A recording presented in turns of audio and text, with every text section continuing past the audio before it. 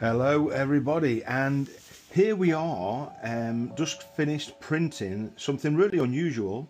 Um, I've got one of my clients um, has actually uh, she has a business called Bright Smiles and she specializes in uh, helping people get whiter brighter teeth. And she's got some uh, amazing techniques there.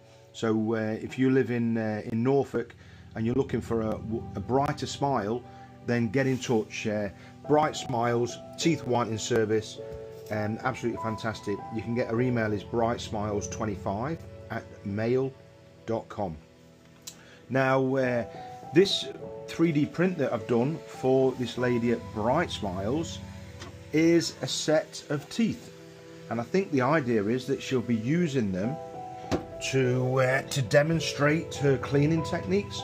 So I've already printed the bottom half um, as you can see and this is the uh, the top half that I'm going to pop off this uh, we'll pop it off the plate. Let's see what we've got here. Is it going to come off? A bit more. That's quite stiff. Yeah that's come off. Lovely. Get that off there. Fantastic And yeah, so you can see we can 3D print all kinds of things. And here we've got this set of dentures. There's just a little bit of, um, because it's so finicky, um, and it's a different kind of filament. This is called PETG. So it's a tougher filament. And it's also, I mean, it's supposed to be transparent, and you can see it's not transparent at all. But um, it's got a certain like nice sheen to it, which uh, I think is quite nice.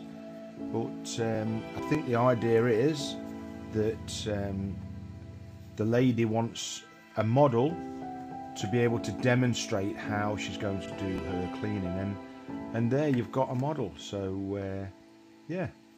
So we don't just do pets. We'll pretty much 3D print anything. If you've got um, if you've got um, a requirement to have something 3D printed, whatever it is, we can 3D print it.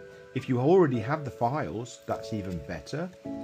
But uh, remember, if you want your teeth whitening, get in touch with Chris at Bright Smiles and she will give you a beautiful Christmas white smile.